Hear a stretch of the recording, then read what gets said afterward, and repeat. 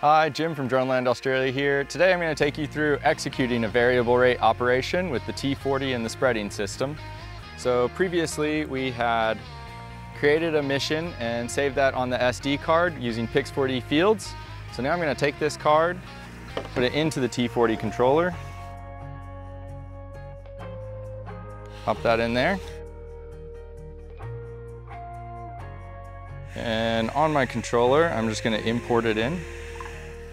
All right, so now that I have the SD card in the controller, I'm gonna go up to Files, I'm gonna click the little SD card button over here. I'm gonna click the mission that I created in Pix4D Fields under Prescription Map and hit Import.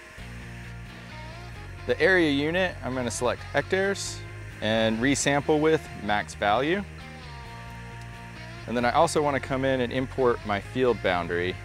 So I'm gonna come into Shapefile, import that boundary, click OK. Now we're ready to get going with that boundary, so I'm going to click that field.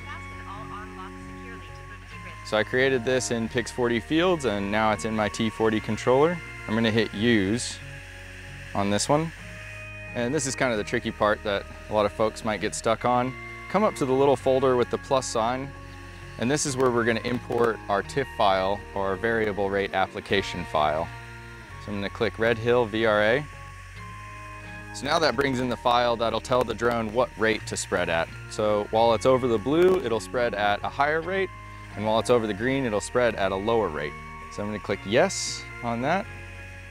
Over here, I have CropLift 400 as my material, spinner disc speed is 200, flight speed, I'm gonna drop that down to about 15 kilometers an hour. All right, so now we have our variable rate file in there. We have our flight route planned. So now we're ready to go. I'm gonna hit start.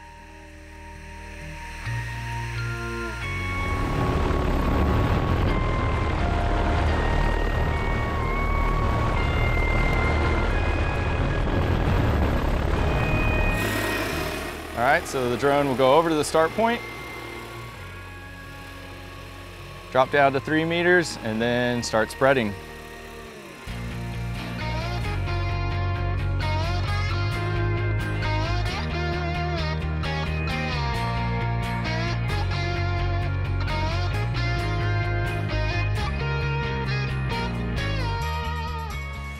All right, so you can see on the controller, when the drone is over the blue section, you can see it's applying at 50 kilograms per hectare. And then when it comes over the green section, that'll drop down to 30 kilos per hectare. So we're saving the fertilizer here and only applying it where it needs to go.